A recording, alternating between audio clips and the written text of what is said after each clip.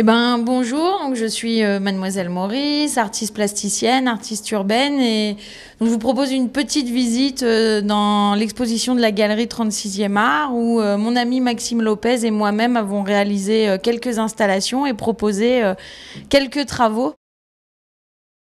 C'est Jennifer qui nous a contactés par mail, qui, qui m'a contacté dans un premier temps parce qu'elle a découvert mon travail sur le net.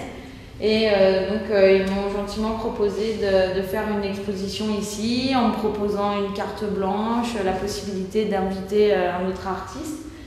donc, vous pouvez voir ici différents tableaux ainsi que des photographies de mes installations urbaines. Pour cette exposition, on a vraiment voulu quelque chose qui soit accessible à tous, aux plus jeunes comme aux plus âgés. Euh, et euh, vous pourrez voir aussi tout au long de l'exposition euh, différents mobiliers qui ont été réinterprétés. une exposition sur le thème de la couleur, sur le thème de la nature, des installations in situ. On retrouve ici le dégradé de, de, couleur spectrale, qui est finalement la décomposition de la lumière. ici, des tableaux qu'on a réalisés à quatre mains avec Maxime, lui le dessin en noir et blanc, moi l'origami. Euh, donc on travaille généralement sur différentes échelles, euh, soit l'infiniment petit, soit l'infiniment grand. Enfin, infini, tout est relatif. Euh, ensuite, là on était vraiment dans la pièce blanche, on va arriver dans la pièce noire, où là vous pourrez découvrir une série de tableaux, donc de six tableaux, avec chacun une couleur mise en avant. On retrouve encore des objets du quotidien ici, une, une scie, un hymne au savoir-faire manuel et traditionnel. Des tableaux de Maxime, un travail de précision, un travail sur le, voilà, le pointillisme, euh, un travail au dot, donc euh, dot euh, le point en anglais.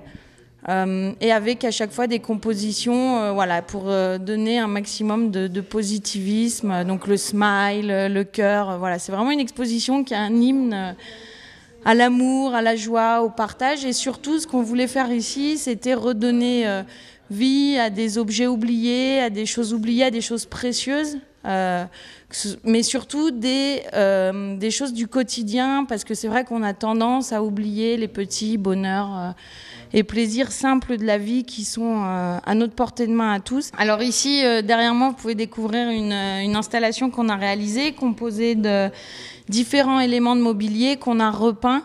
Euh, qu'on a réinterprété, mais surtout une composition euh, de 25 ardoises qu'on a euh, récupérées chez ma grand-mère, qu'on a nettoyé, peint et investi à quatre mains. Donc encore une fois, Maxime avec le dessin et moi avec le pliage papier. Et à chaque fois, chaque ardoise est traitée dans une composition soit graphique, mais toujours avec un hymne au végétal, à la liberté. On a travaillé euh, voilà, avec beaucoup de, mobilier qu'on a récupéré, que ce soit euh, chez ma grand-mère ou à Emmaüs. Du, vieux mobilier, du mobilier ancien qu'on a tendance à, bah voilà, à ne plus considérer. On a essayé de lui, de lui redonner une seconde vie. Euh, et, de le réinvestir avec le noir, le blanc, la couleur et surtout la couleur qui, émerge en fait de ce, noir. Donc vraiment une manière de dire ben, le quotidien est ce est, est qu'il est, mais il y a des, plaisirs euh, simples euh, à considérer au jour le jour et accessibles à tout le monde et des plaisirs gratuits. Donc euh, tout naturellement, quand on a un artiste comme Mademoiselle Maurice qui travaille euh, le papier, l'origami, on ne peut que l'inviter. Euh, on, a eu des, on a eu un graffeur, on a eu un sculpteur, on, a eu quelqu'un qui s'apparentait plus à la peinture. c'est tous des, gens qui sont de l'univers street. Et Mademoiselle Maurice s'inscrit forcément dans, ce, dans cette dynamique-là et on, souhaitait vraiment l'avoir. en parallèle, Maxime Lopez a une qualité de travail et une minutie qui, qui s'accorde parfaitement avec la minutie de l'origami de Mademoiselle Maurice. Et c'est tellement complémentaire que c'était une évidence pour nous de, de, les, de faire découvrir à, à euh, ces artistes.